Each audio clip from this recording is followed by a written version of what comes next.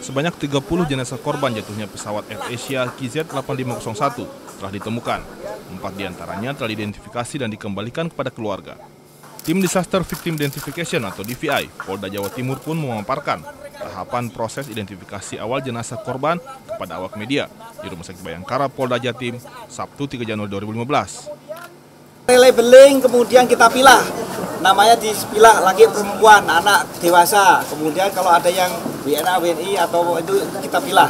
Kemudian kita siapkan dan di postmortem ada meja pemeriksaan dihadiri lima expert termasuk dengan peralatan tambahan X-ray macam-macam termasuk untuk dental panoramik peralatan kami Tim DVI juga mengaku semakin mudah dalam proses identifikasi jenazah karena dibantu sejumlah ahli dari dalam dan luar negeri.